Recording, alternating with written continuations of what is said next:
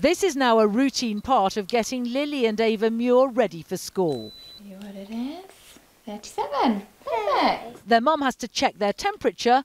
If mm. it's over 38 degrees, the rules say they must oh. stay at home. They both go to Akeley Wood, a private school near Milton Keynes, that's introduced more stringent measures to combat the spread of coronavirus. Happy birthday to me, happy birthday to me. Akeley decided to step up its response after hearing from other schools in the group dealing with far worse outbreaks in Asia. In Singapore, we have thermal checking of everyone that comes into the school community. Now, we're not recommending that we do that here in the UK, but we have asked parents to uh, take their temperature and their child's temperature in the morning and just be aware of that, as it's an early indicator if something isn't quite right. Parents collecting their children from a North London school have been reassured that good hygiene is enough. I've got cystic fibrosis, so that's a lung condition.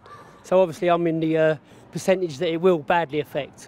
I haven't actually heard anything physically from the school themselves, only from my daughter herself when she comes out and she's singing these new songs to wash their hands with. And so I know they are cracking down on the hand part. They're making a huge effort to keep us informed on what's happening in terms of our latest updates.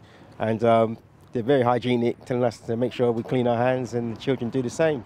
Although this school in Reading was forced to close after a positive test, the aim is to reopen as quickly as possible young people and healthy adults are the least likely to get this virus and therefore I think there will be an expectation for schools to stay open as long as they can not just because it's good for the young people but also so that parents of those young people don't have to take time off to look after them. And cover your hands in soap. Make sure your hands are nice and covered.